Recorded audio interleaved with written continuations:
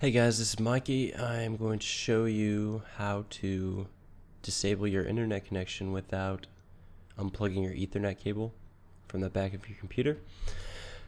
Uh, I'm going to show you this on Windows 8, but it should work just on any Windows platform, I'm pretty sure.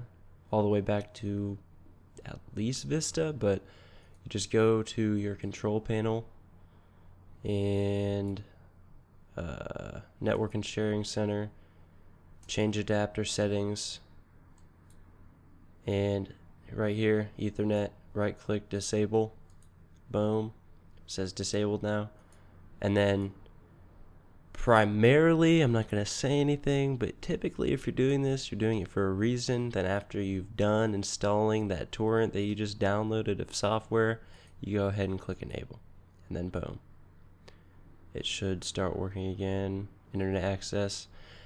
And that is it. At that point you're done and your torrented software will now function properly and you didn't even have to do any work getting behind the computer. So that's basically it. Peace